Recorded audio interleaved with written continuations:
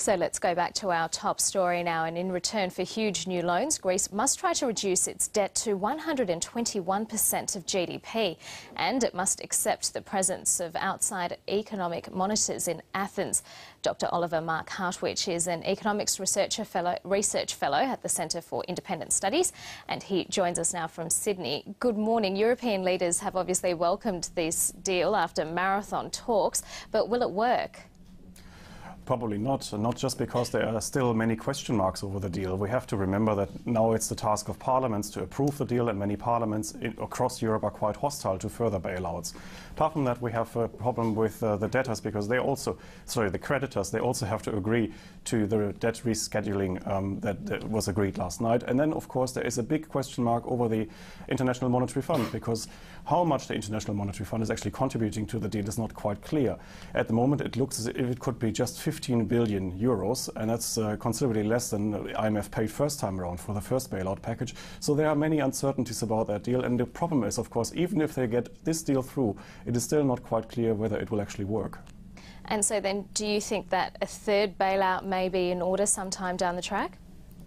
Uh, it certainly looks like this because, as you said, under the deal and under the most op optimistic assumptions, really, Greece is going to 121% debt to GDP by 2020. I mean, that's eight years down the track, and nobody really believes that in the following eight years, Greece won't need any more money because, I mean, that's basically what's happened over the past two years.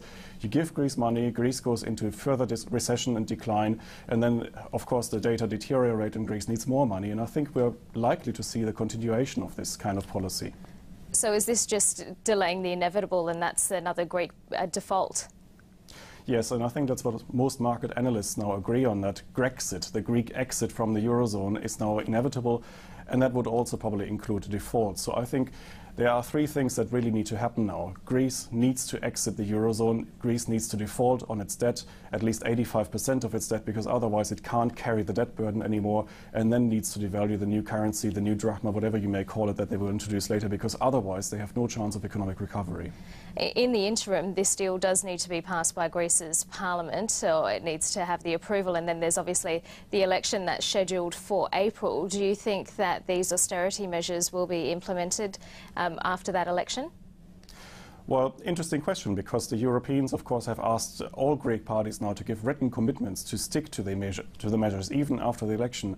However, you can't quite be sure how much these commitments are really worth after the election because you have to figure out that Currently, PASOK, for example, the Socialist Party, is down to just 8% in the polls, and the Conservative Party may just be around the 20% mark. And what you will get in the April election, if it goes ahead, may be a parliament that's quite radicalized, where you have hard left party, the hard left parties that are resisting any kind of deal and any kind of austerity measures. So I think there is a lot of political uncertainty still on the ground in Greece. And it's interesting to see how the markets have reacted. The US has had a, a big jump, and then European markets reacted somewhat more cautiously. What can we read into that? Not much, actually, because over the last uh, years, I mean, whenever markets rallied, you had to be very, very careful because they're really acting on just headlines, and then it takes them two or three days to digest the news and find out that actually in the details, in the fine print of the deals, there are some nasty bits hidden. And so I wouldn't really read too much into markets because they have always been too optimistic when finance ministers agreed on something and then they found out later that it didn't work. Oliver Hartwich, thank you very much for joining us this morning. Thank you.